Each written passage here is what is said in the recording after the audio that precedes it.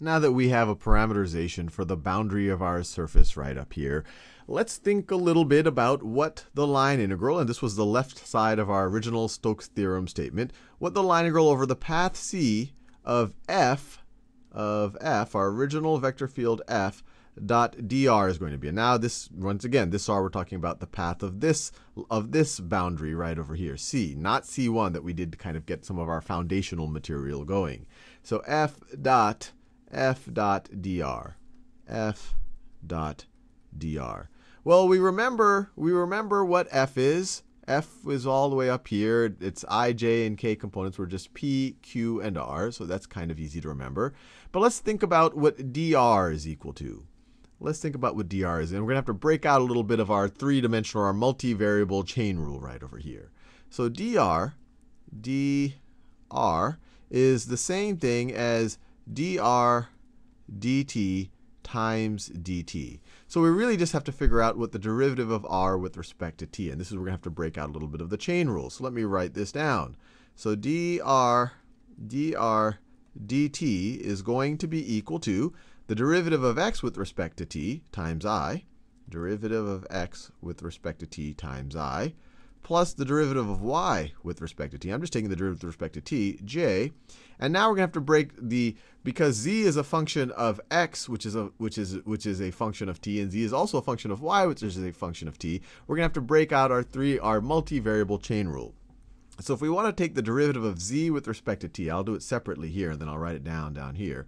The derivative of z with respect to t, you really, the way I conceptualize is all, what's all the different ways that z can change from a change in t?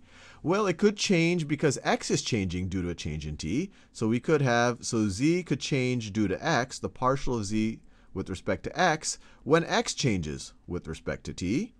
But then that's not the only way that z can change. We have to add to that how z can change with respect to y. Partial of z with respect to y times how how, how fast or how y is changing with respect to t. And this is just our multivariable chain rule. And so this is dz, dz dt, so I'll just write it right over here.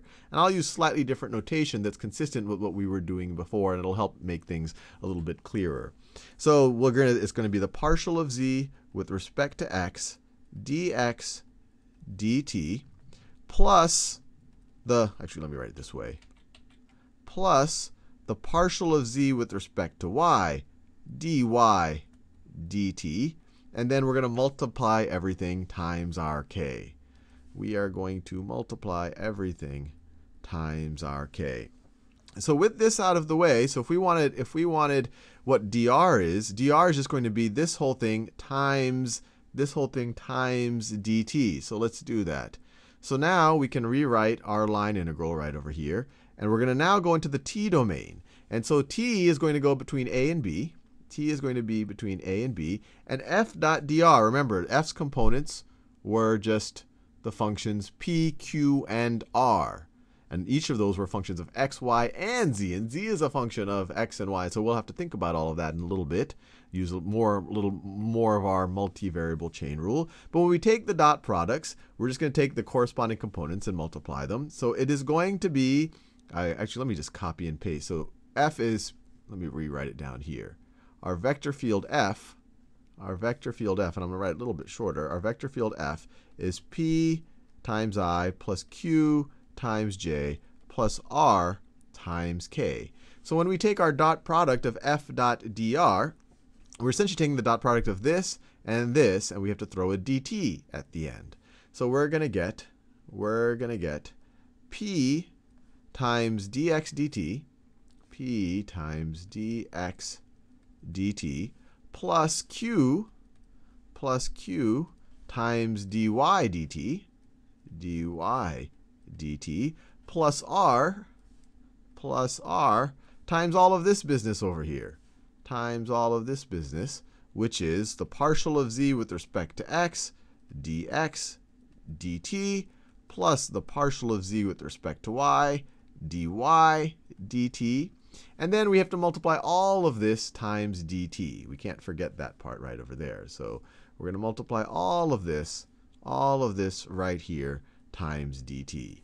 Now I'm going to leave you there in this video just because I'm afraid of making careless mistakes. What we're going to do now is we're going to rearrange this whole thing, recognize that this is the same thing as this right over here. Then that gives it a form that we can apply Green's theorem using this boundary right over here. And then when we do a little bit more algebraic manipulation, we're going to see that this thing simplifies to this thing right over here and proves Stokes' theorem for our special case.